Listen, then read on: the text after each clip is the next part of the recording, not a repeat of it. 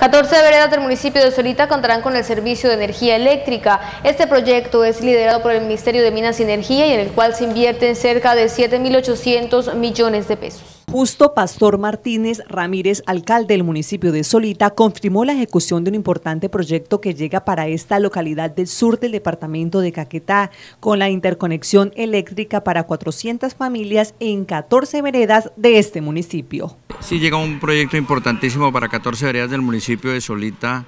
En este momento se van a interconectar eh, casi 400 familias de nuestro municipio.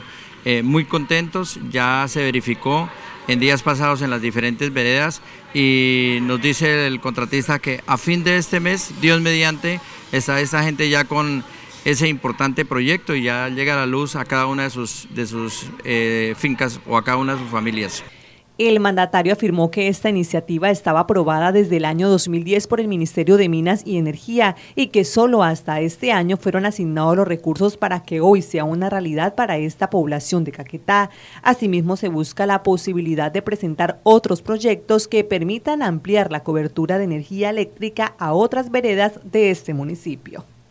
Eh, es un proyecto que viene aprobado desde el 2010, pero que tan solo este año se le asignaron los recursos, el Ministerio de Minas y Energía. Es un proyecto que se está elaborando en este momento y tengo una noticia importante y es que ya eh, subimos el proyecto y ya se llevó el proyecto para las otras veredas que nos faltan en el municipio de Solita. Ya en este momento está la electrificadora del Caquetá y muy probablemente este año también estamos buscando el apoyo del gobierno nacional también de nuestros representantes a la Cámara para que el 100% del municipio de Solita, de los habitantes del municipio de Solita, queden interconectados este año. Martínez Ramírez se refirió a las veredas que serán beneficiadas con este proyecto. Las veredas que se beneficiaron con el proyecto son Buenos Aires, La Argelia, El Carmelo, eh, La Recreo, La Española, Unión Cincelejo, La Cristalina, La Miranda, El Progreso y La Paz.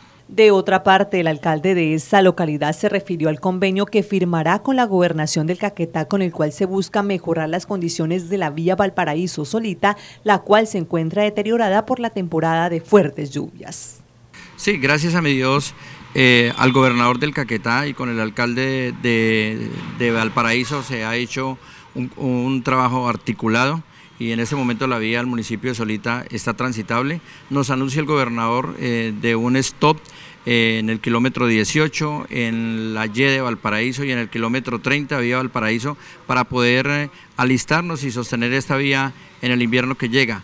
También hicimos unos convenios solidarios con las veredas eh, que tienen, donde tenemos la red terciaria y efectivamente en este momento están transitables. Hicimos unos convenios con la comunidad, la comunidad muy juiciosa, tenemos un trabajo articulado y estamos trabajando de la mejor manera. Hicimos unas alcantarillas, unos bosculver, la comunidad del municipio de Solita, vale la pena agradecerles a ellos porque son los campesinos y es el mismo pueblo el que nos está ayudando a construir estas vías en el proyecto que permitirá la interconexión de 14 veredas del municipio de Solita se invertirá 7.800 millones de pesos.